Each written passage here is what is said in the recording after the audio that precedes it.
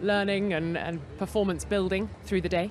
Uh, yeah, for sure. Straight out of the box in FP1, felt very comfortable, very happy with the car balance. Uh, but obviously, you always feel like there's things to improve and things to find.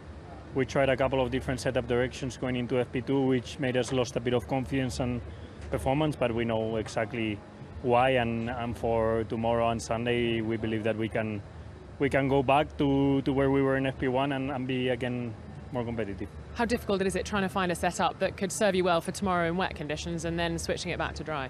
It's difficult, but today was a good day to, to test a few things because the conditions were very stable throughout the day and we definitely managed to, to take out a couple of doubts with, with the direction to follow through the weekend and yeah, I think it was a very interesting Friday.